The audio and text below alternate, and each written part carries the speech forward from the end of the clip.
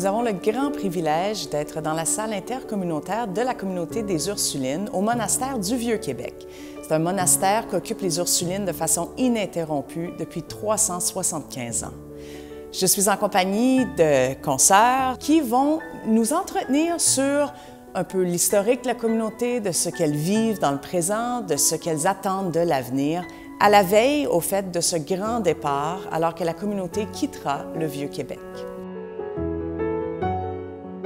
J'ai enseigné euh, presque toute ma vie. J'ai enseigné à Stansted un petit temps, mais je suis revenue ici. J'ai enseigné aux enfants, mais maintenant j'enseigne aux, adultes non francophones. J'enseigne le français en cours privé. C'est toute une autre euh, approche, mais euh, les, les qualités fondamentales que j'essayais et que j'essaie encore de, de faire, l'écoute, l'attention, la, miséricorde, on peut dire, comme vous parliez tantôt, ça reste toujours les mêmes, hein, parce que les personnes humaines sont les mêmes. C'est la présence constante des religieuses avec les enfants. Cette présence-là, c'est une présence qui a accompagné la croissance des personnes, parce qu'on était dans un contexte d'éducation, préparer des, femmes à, à leur vie alors, accompagner la croissance des personnes, leur quête de sens, je pense que c'était ça le, sens de la présence, une présence qui amène plus loin.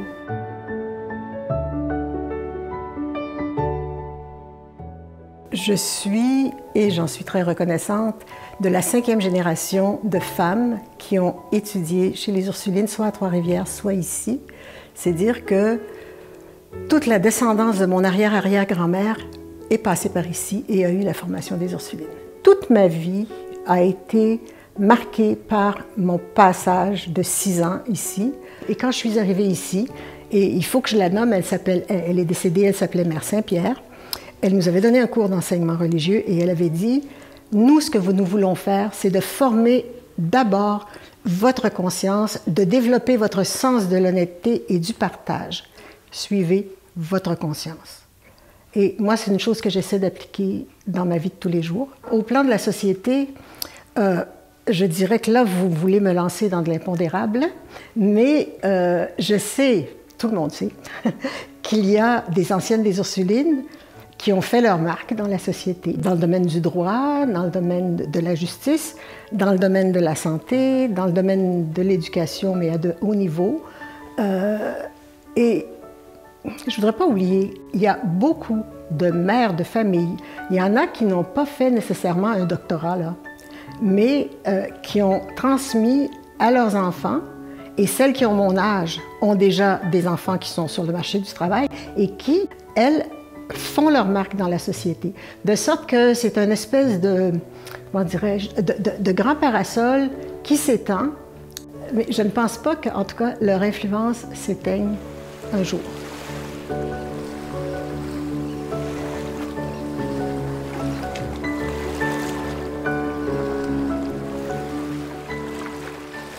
J'ai vu un jour jusqu'à 500 personnes venir à la chapelle et venir surtout s'agenouiller au tombeau de Marie de l'Incarnation. D'ailleurs, c'est ce qu'elle désirait.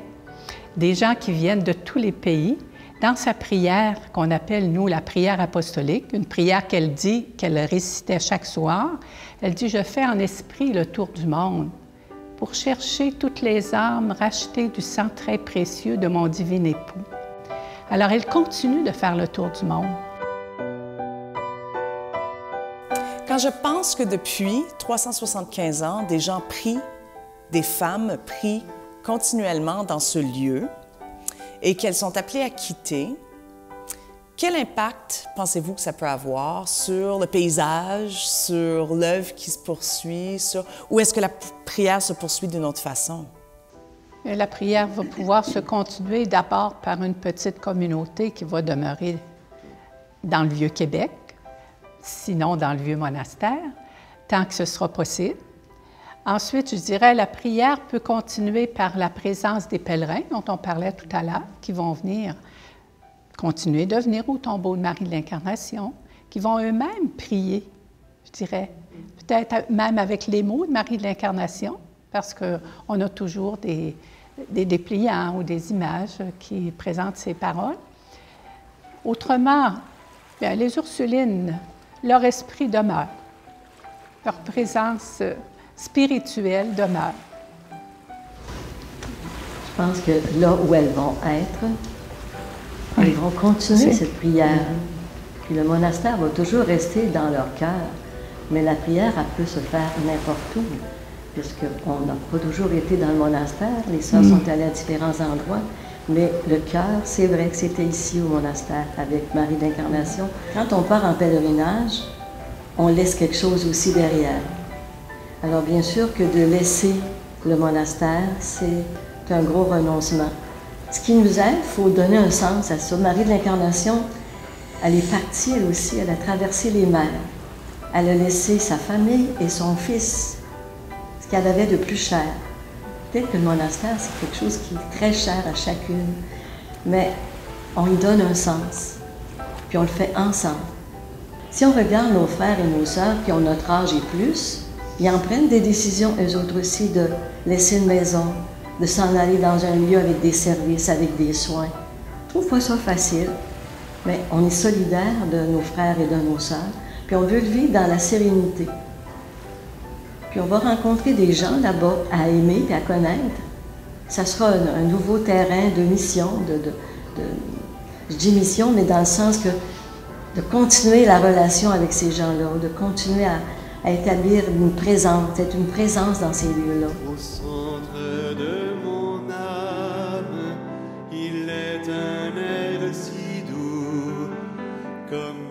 Ce sont euh, les parents des élèves, des pensionnaires qui entraient par ici pour venir payer la pension des jeunes. Puis ils payaient avec des sacs de blé puis de farine. Puis ensuite, euh, ça, se montait par une poulie. Et ici, il y a un gros crochet pour euh, justement fermer la porte solide, en sécurité. Tiens, on peut fermer la porte. Tiens. Ensuite, en plus, il y avait une grosse clé. Ça, euh, je ne l'ai plus jamais vu.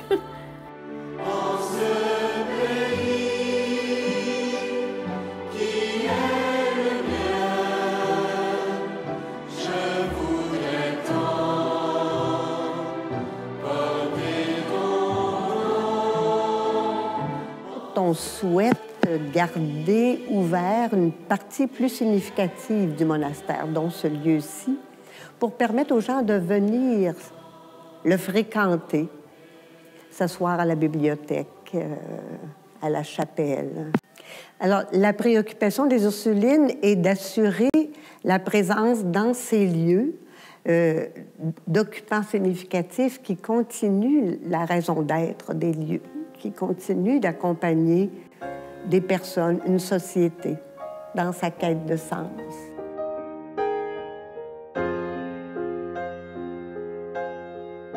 les arts, la beauté, ça a occupé une place centrale ici.